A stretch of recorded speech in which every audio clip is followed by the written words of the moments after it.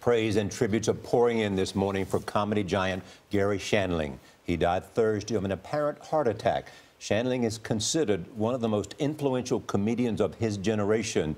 He was a star of the stand up scene and a mentor to many of today's late night hosts. He was supremely innovative and intelligent. You're going to hear that he is revered by everyone in comedy, and that is all true, 100% true.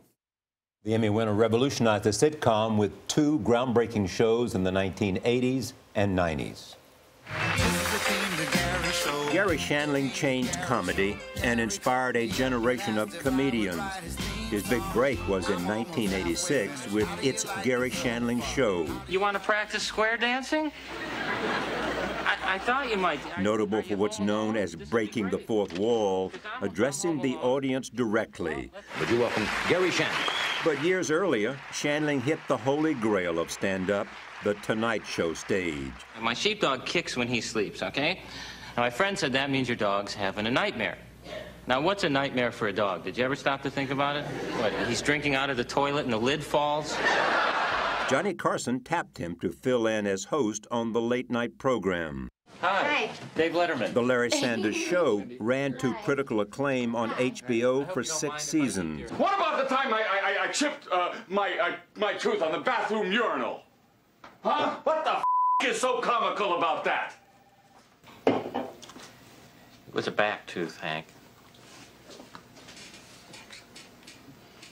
I don't know how you did it. Co star Jeffrey Tambor said Shandling redesigned the wheel of comedy. The Chicago native was on my PBS program in 1998 and 2000. I think talent is purely becoming one with who you are and being honest in that moment. People try and, you know, sometimes try to figure out who's talented and who isn't and what they do. It's like an athlete. You either have it or you don't. Comedy writer and producer Judd Apatow mourned his mentor. I just don't know how to sum up someone I love so much who taught me everything I know. I love you. Love you too.